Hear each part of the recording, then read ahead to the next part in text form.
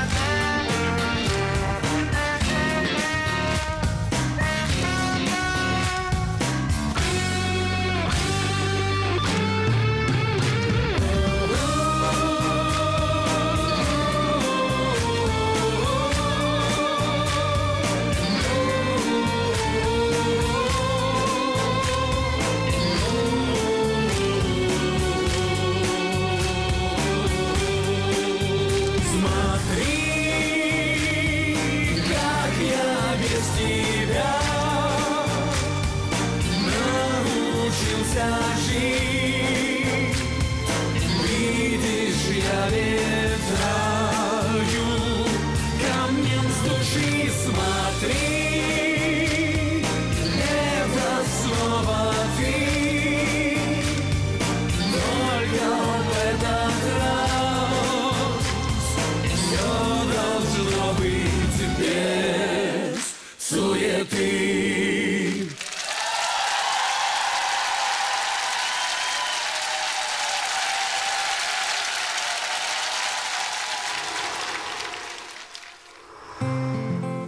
на чистоту.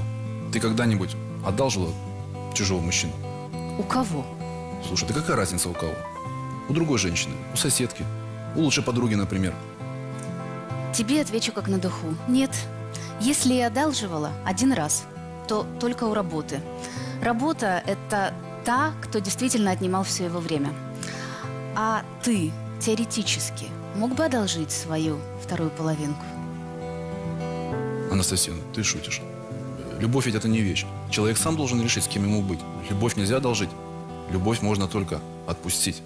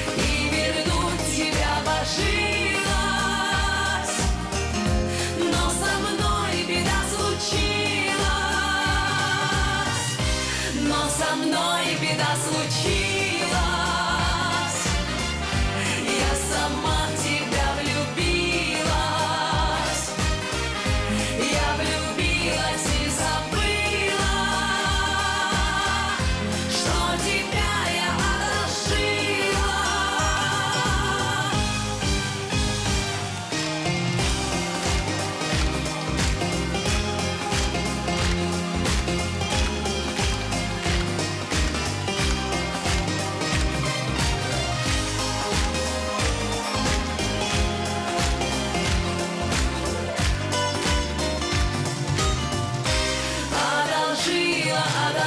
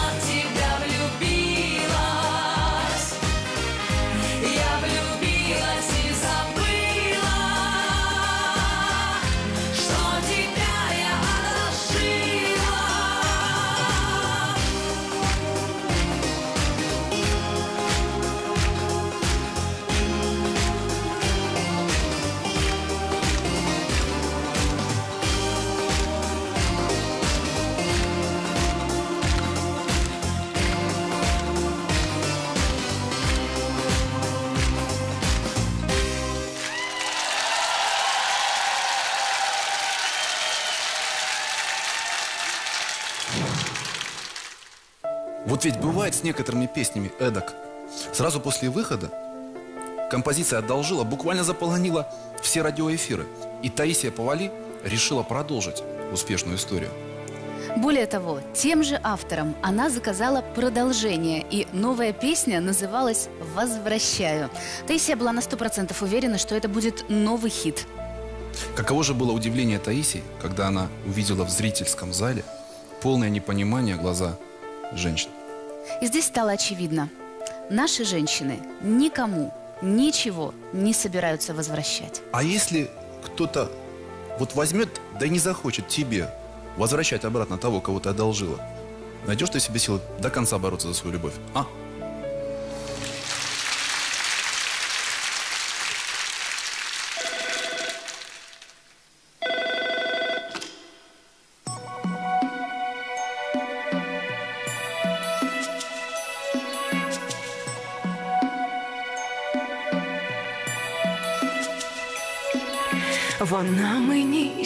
Сьогодні подзвонила,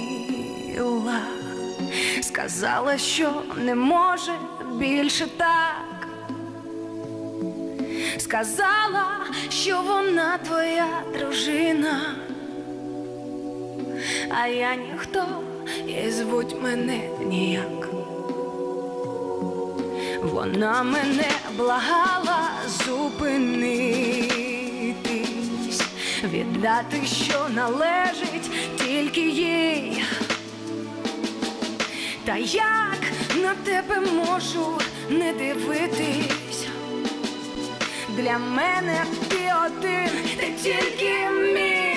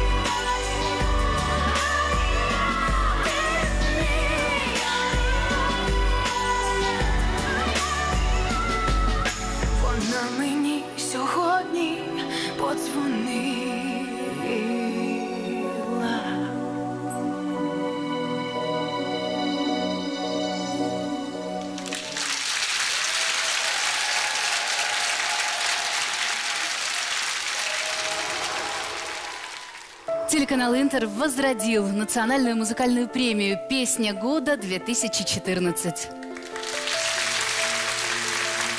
Победителей в ней определяют сами зрители путем голосования на сайте song.inter.ua. До финала в декабре осталось совсем немного времени, поэтому, если вы еще не успели проголосовать, присоединяйтесь к тем десяткам тысяч наших телезрителей, которые уже отдали свои голоса за свои самые любимые песни этого года. Следующая песня уже претендует на то, чтобы стать участником концерта «Песня года 2014». Это песня о том, что переживали, да и продолжают переживать многие. Песня о том, что как бы ни было хорошо, рано или поздно все равно приходится вызывать такси.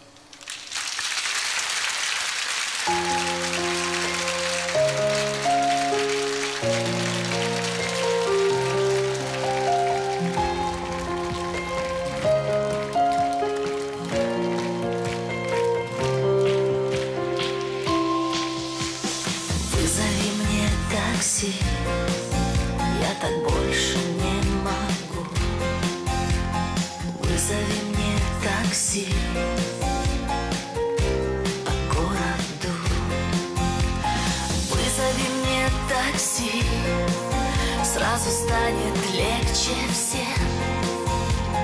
Вызови мне такси, я уеду насовсем. Об этом знаешь только ты И пару твоих друзей Со мной сбываются мечты Но возвращаешься к ней Об этом знаю только я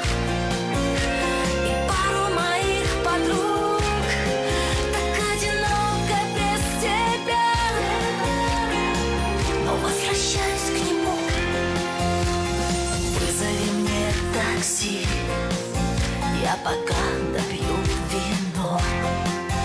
Оставаться не проси, все давно предрешено. Вызови мне такси, но пока еще вдвоем. Обними и прости,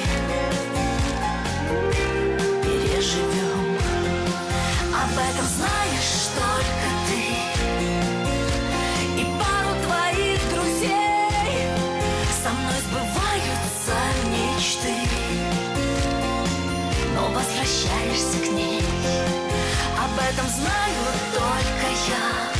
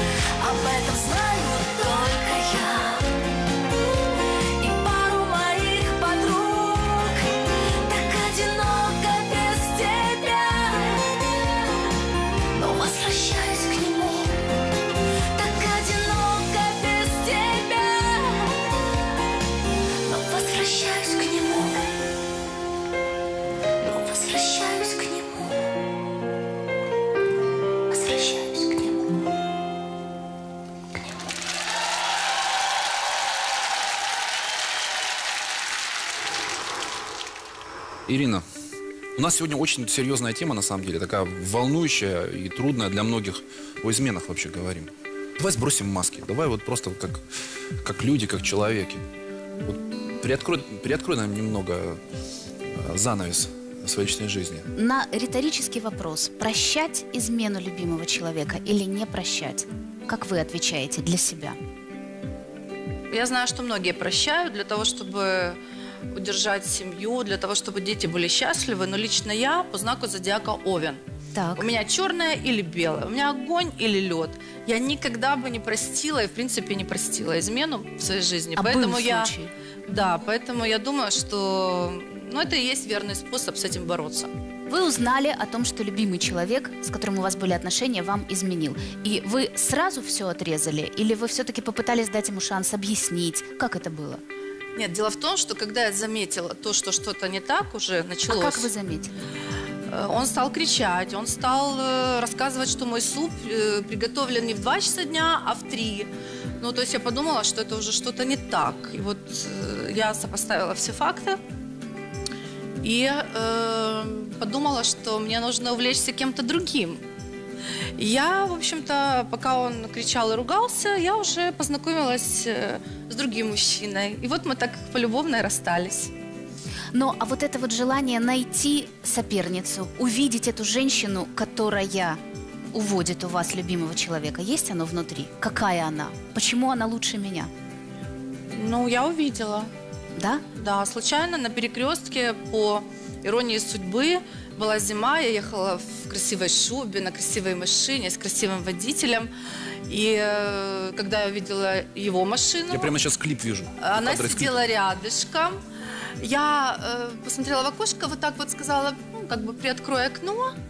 И когда она мне помахала вот так вот, я ей показала то, что я сейчас в эфире показывать не буду.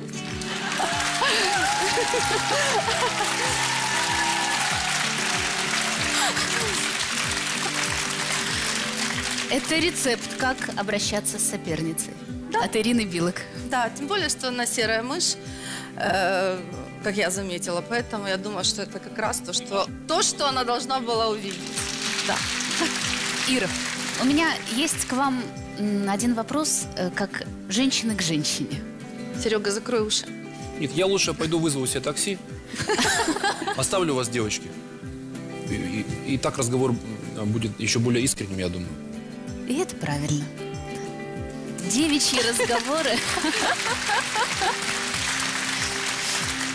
Ирина, скажите, если все-таки женщина позволяет себе увлечься, нужно ли ей об этом рассказывать? И если бы мои подруги спрашивали, то я бы сказала, что если тебе нравится другой человек, то нужно с этим прощаться. И сам факт измены для меня это табу. Это нельзя делать. Нужно жить только с любимым человеком. Спасибо вам, Ирина. Спасибо вам.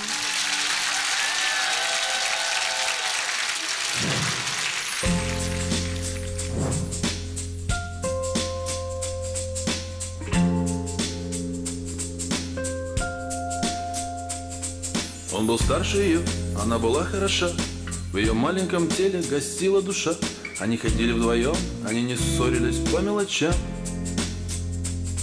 И все вокруг говорили, чем не муж и жена? И лишь одна ерунда его сводила с ума. Он любил ее, она любила летать по ночам.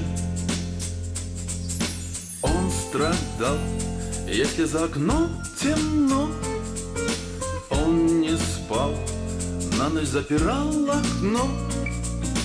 Он рыдал, пил на кухне горький чай.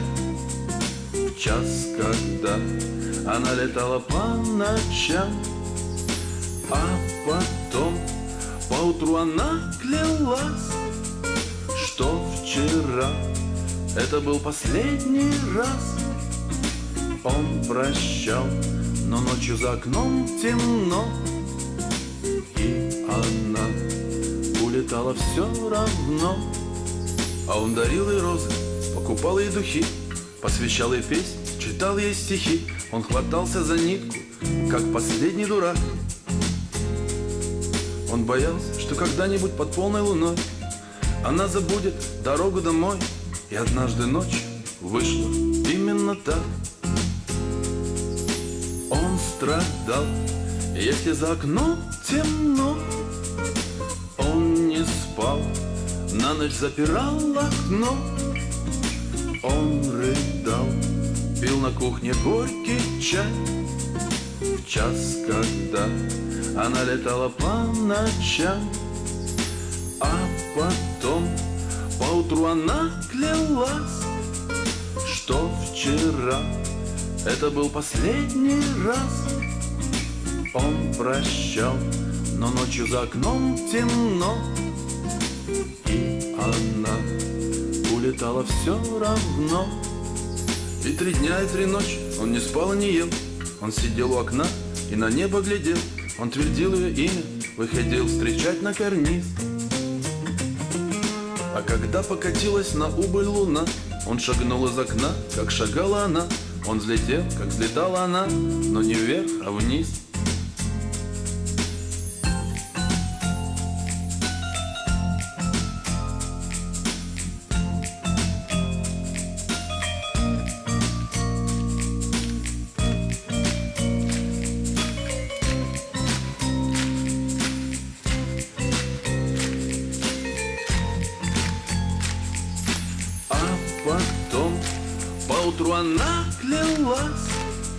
Что вчера?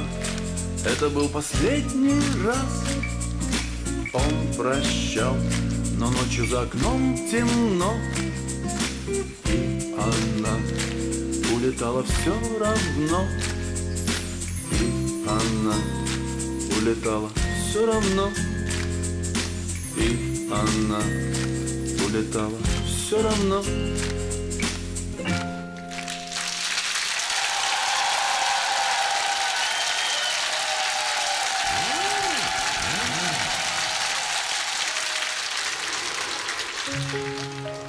вот об одиночестве хотел с тобой поговорить. Вот некоторые люди его боятся больше смерти, пуще всяких болезней. Ты как вообще относишься к одиночеству? Я с ним соприкасалась. И ты знаешь, я думаю, что при разрыве мы не столько боимся потерять близкого человека, мы больше опасаемся остаться в той пустоте, которая окружит нас после его ухода. То есть мы боимся не за него, боимся за себя в этой леденящей пустоте. Я долгое время ловился на том, что э, хочу избежать каждый раз одиночества, ввязывался в какие-то отношения, а потом опять наступало одиночество.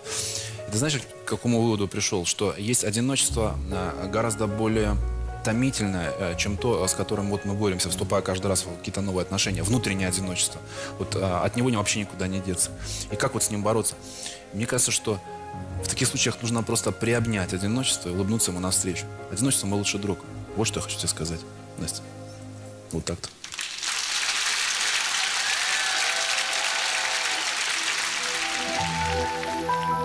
Каменная леди, ледяная сказка Вместо сердца камень, вместо чувства маска И что?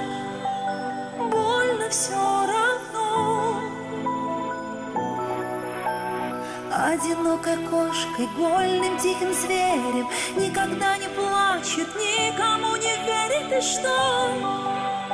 Больно все равно. Но Одиночество сволочь. Одиночество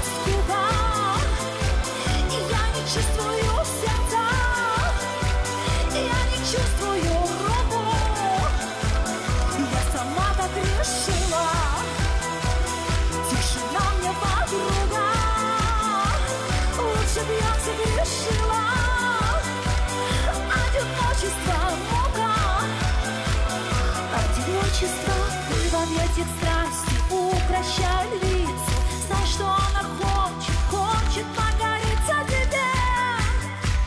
Проиграть в игре.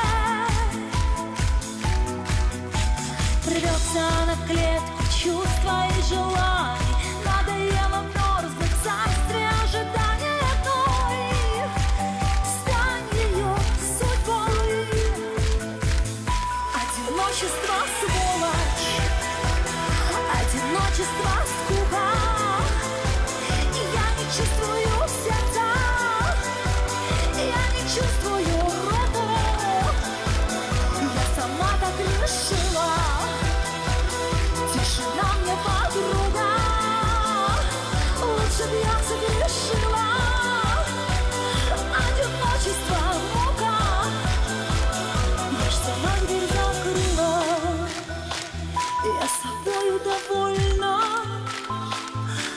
Отчего же так плохо? Отчего же так больно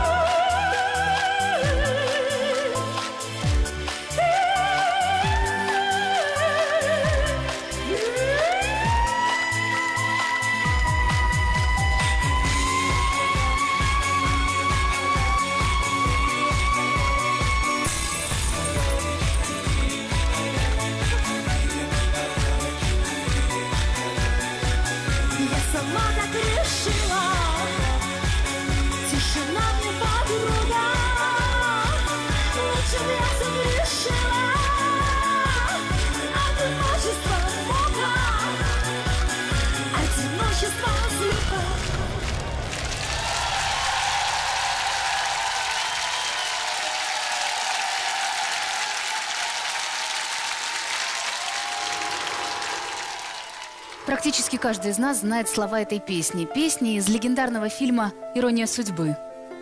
А вот мало кто знает, что на самом деле стихи к этой песне были написаны, внимание, в 1936 году. И написал их очень неоднозначный человек – его звали Владимир Киршон.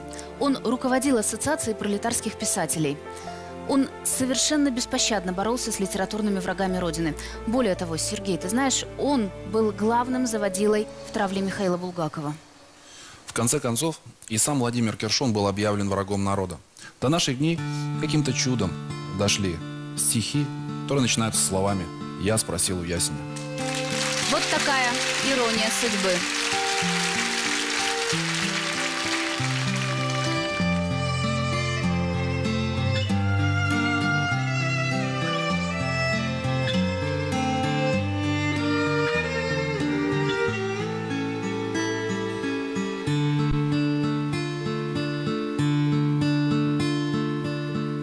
Спросил у ясеня, где моя любимая?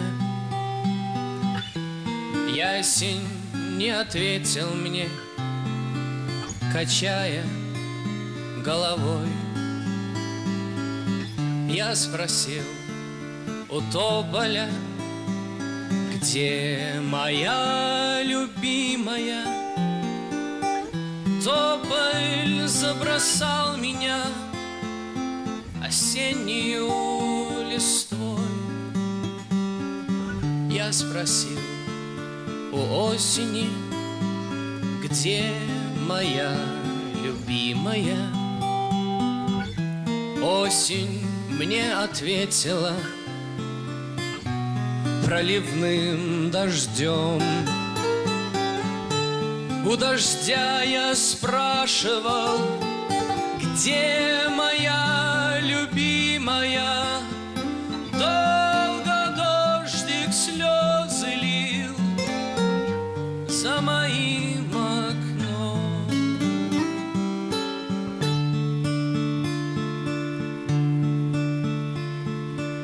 Я спросил у месяца, где моя любимая? Месяц скрылся в облаке, не ответил мне. Я спросил у облака, где моя любимая? Облако растаяло в небесной синеве. Друг ты мой, единственный, где моя любимая? Ты скажи, где скрылась, знаешь, где она? Друг ответил преданный, друг ответил искренний, была тебе тебе любимая, была тебе любимая, а стала мне жена.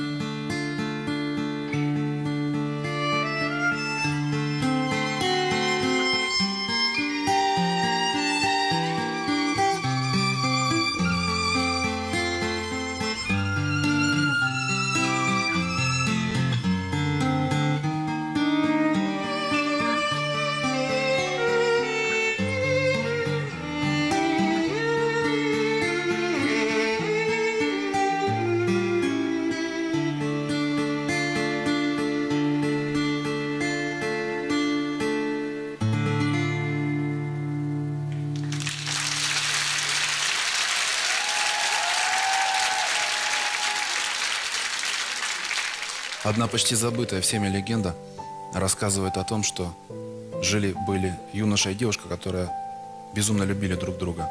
У девушки был дивный голос, и больше всего на свете она любила петь своему возлюбленному о том, как сильно она его любит. А юноша больше всего на свете любил ее слушать.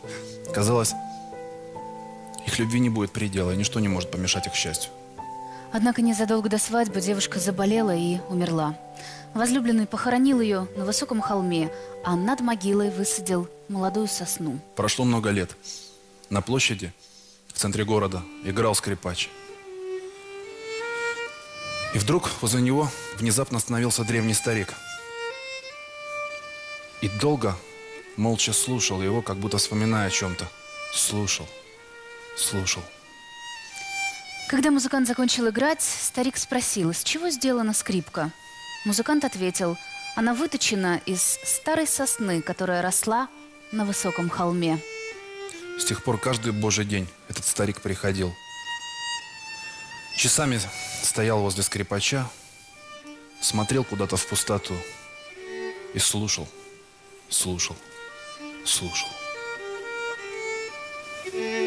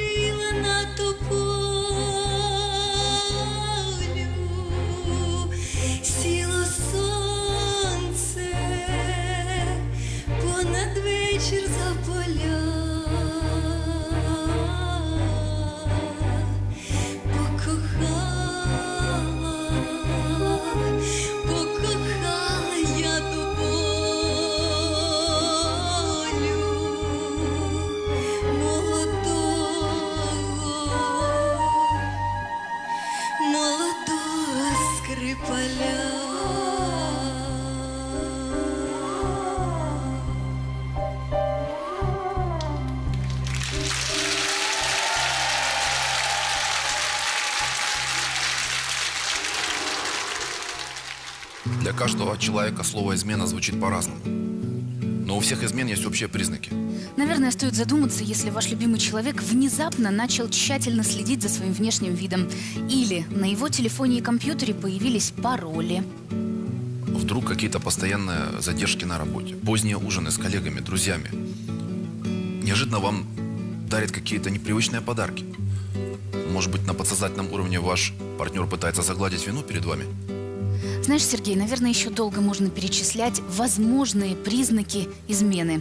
Но лучше, чем ваше сердце, вам никто не подскажет. Более того, может быть, оно давно уже пытается вам что-то сказать, а вы просто не хотите его слышать. А может, вы это сами себе накрутили все? Может, ваша половинка действительно пытается хорошо выглядеть, чтобы радовать вас? На самом деле много работает и искренне дарит вам подарки. Мы ведь можем ошибаться. Мы ведь люди, а не ангелы.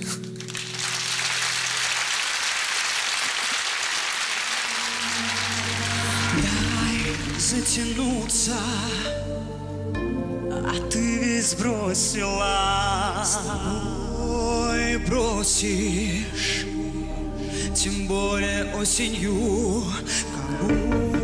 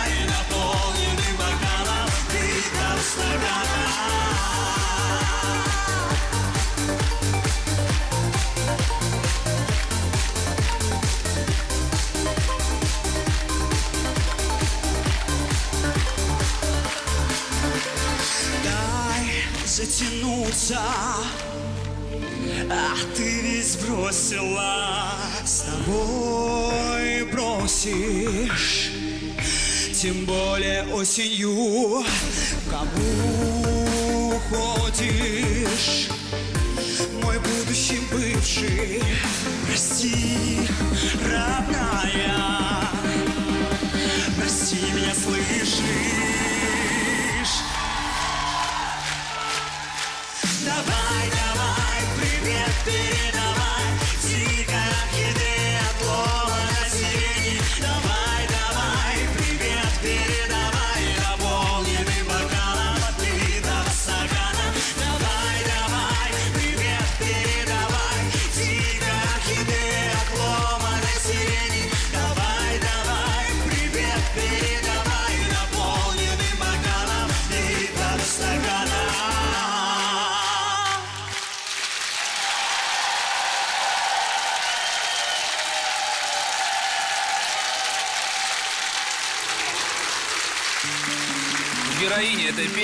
Реальный прототип. Соседка автора. От нее муж ушел к другой женщине. После этого всем подъездом ее стали называть мадам Брошкина. Немаловажный момент, она сама была не против. Так вот вам еще один способ справиться с изменой. Отнеситесь ко всему с иронией и шутите над собой.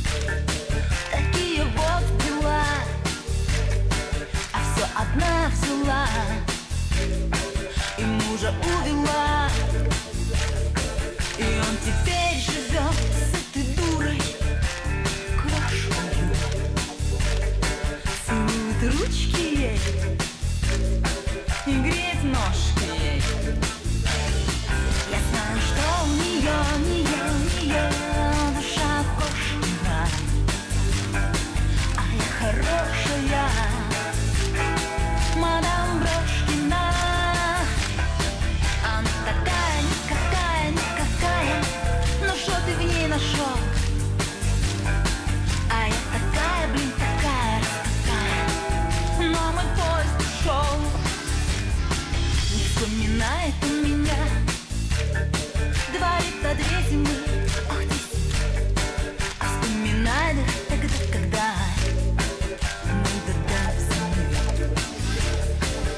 И на что он там живет, скажите, люди добрые. С этой крошкой Купил колечко ей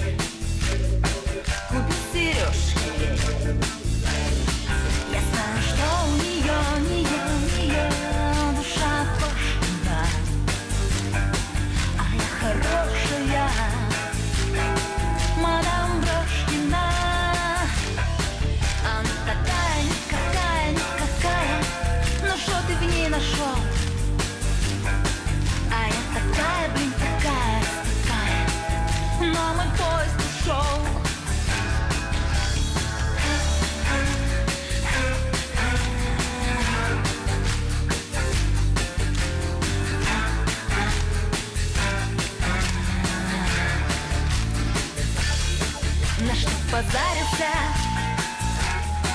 На сердце с линькою На кудри белые крашеные Под косынкою. Вот так бы и дала бы ей бы бабушке Своими рожками Так я же добрая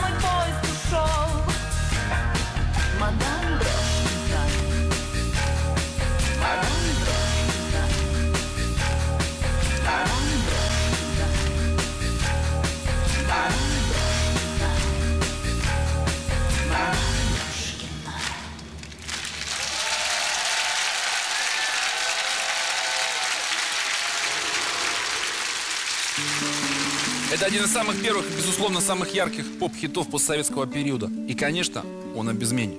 Это песня сильной самостоятельной женщины, которая не по-женски мужественно приняла факт измены любимого человека и буквально выставила его за дверь. Кстати, впервые ее исполнила настоящая роковая женщина Наталья Ветлицкая.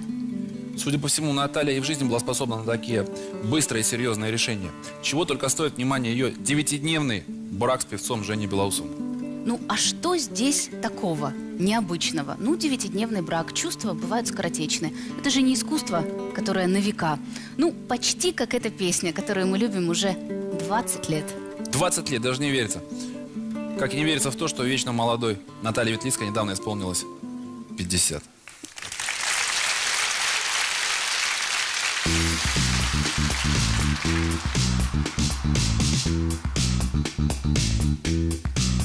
Thank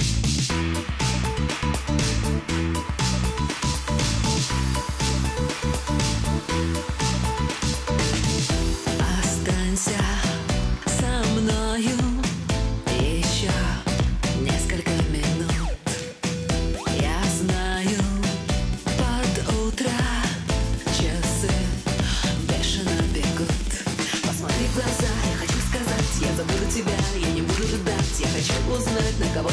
ты меня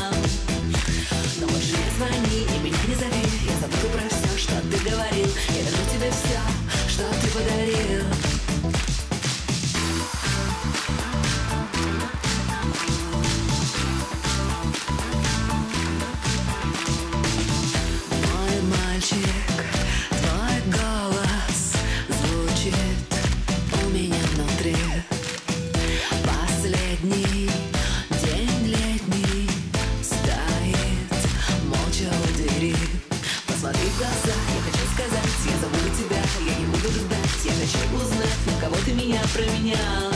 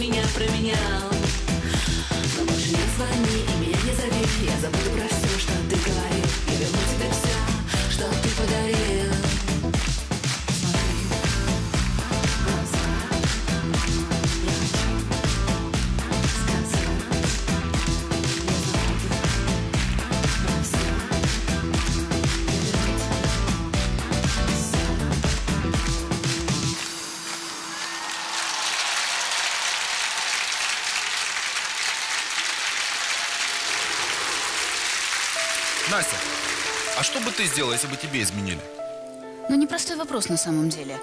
Э, Судя по тебе, ты бы сбросил со скалы в пропасть без разговоров. Ты перестань. А я человек добрый.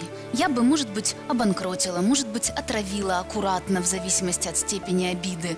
Ну, шучу на самом деле. На самом деле, думала бы, что я сделала не так, анализировала бы свои поступки и в открытые конфликты не вступала. Ой, Ли, Да, что и даже его любимые удочки бы не поломала. сохранила бы имущество. Что и даже его любимые галстуки бы ножницами бы не порезала бы. Ни в коем случае. Золотая женщина. Но не всем так повезло на самом деле с их вторыми половинками, потому что есть те из них, кто за измену мстят действительно очень больно.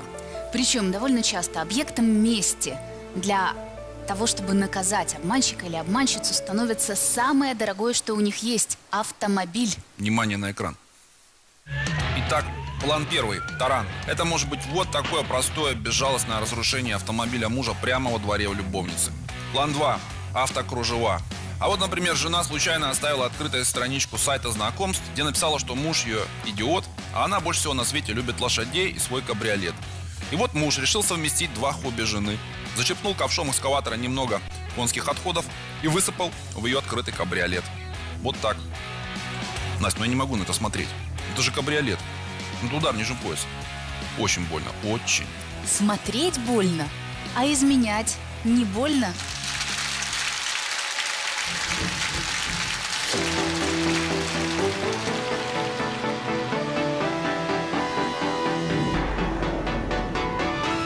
Этой ночью в спящем городе Ветер бьется черной птицей Пусто в доме мне и холодно Поздних звезд не спится Упаду в объятия темноты И пойду пути не зная. Виновата в этом только ты Только ты Только ты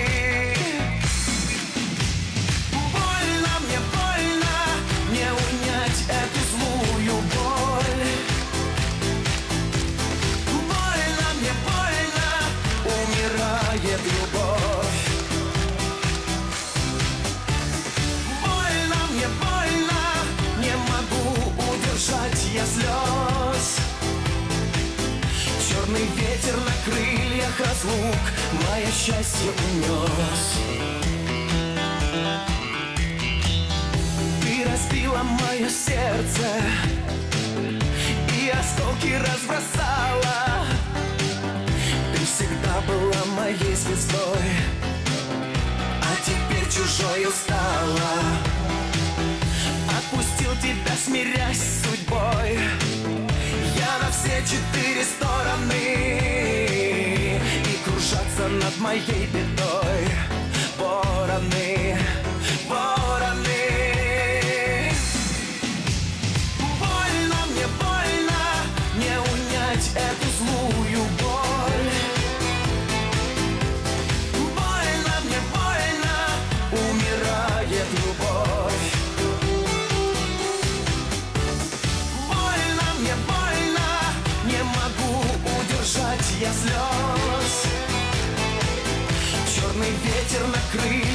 разлук Мое счастье унес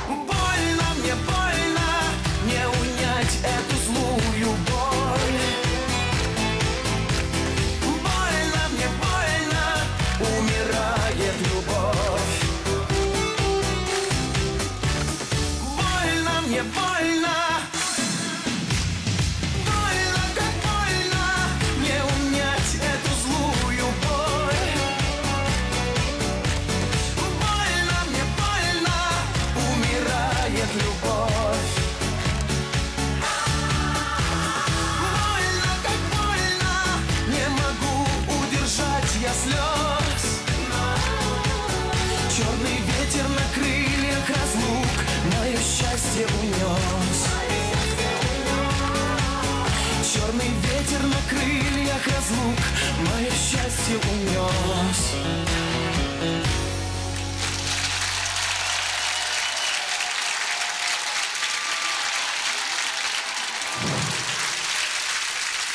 Настя, а как ты относишься вообще к курортным романам?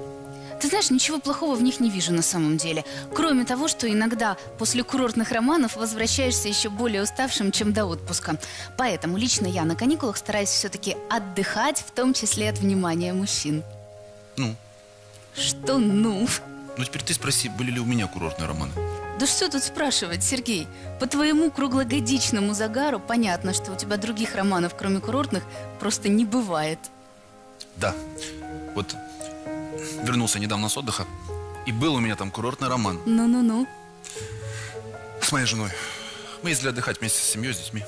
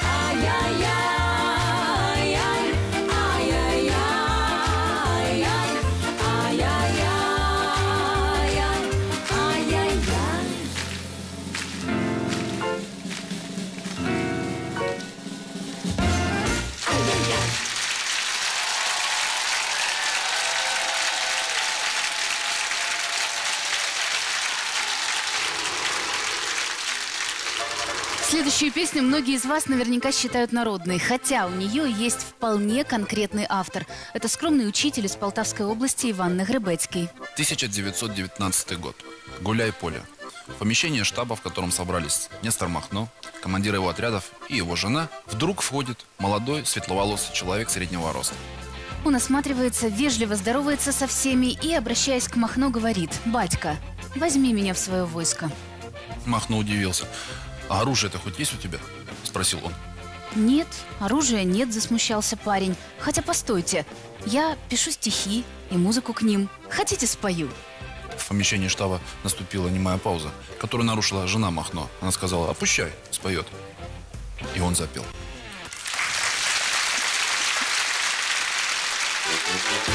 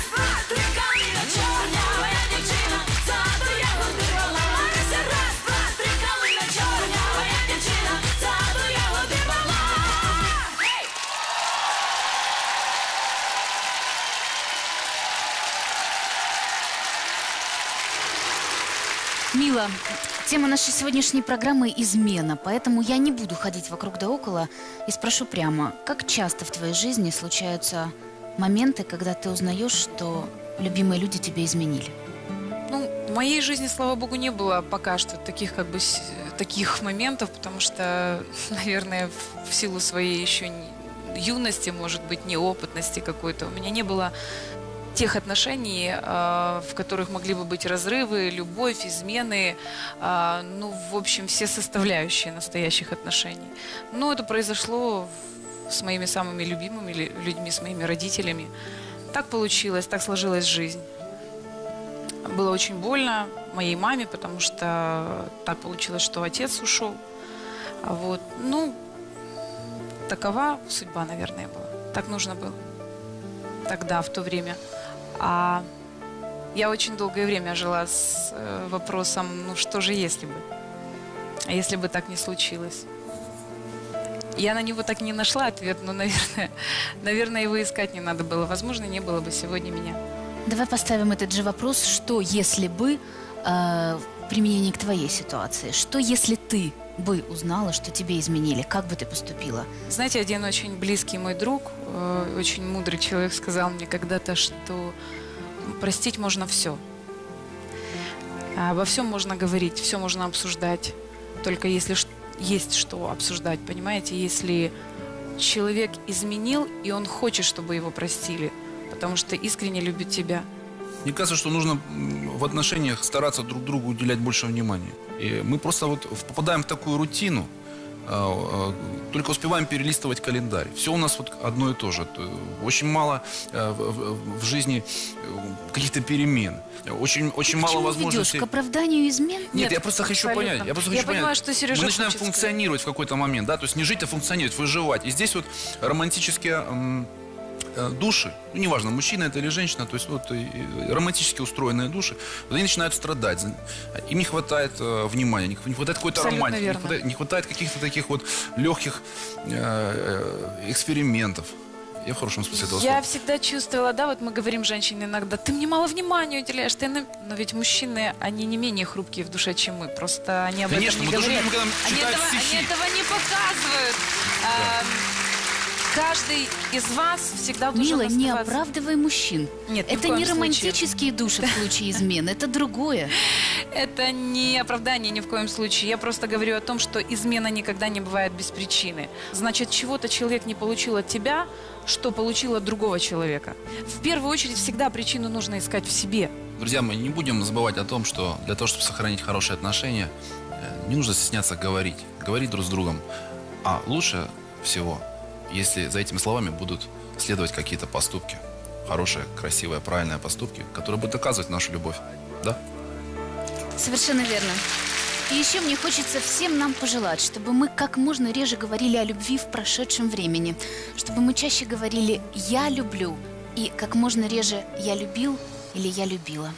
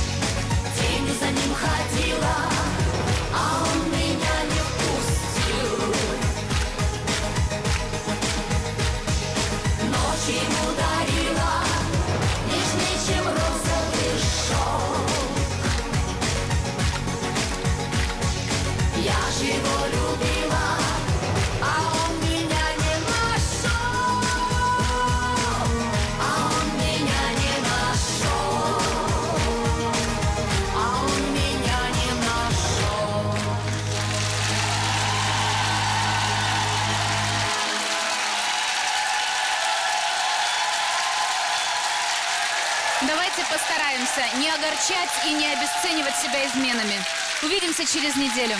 И помните на всякий случай, изменить близкому человеку дело не хитро, а вот место встречи, место встречи изменить нельзя.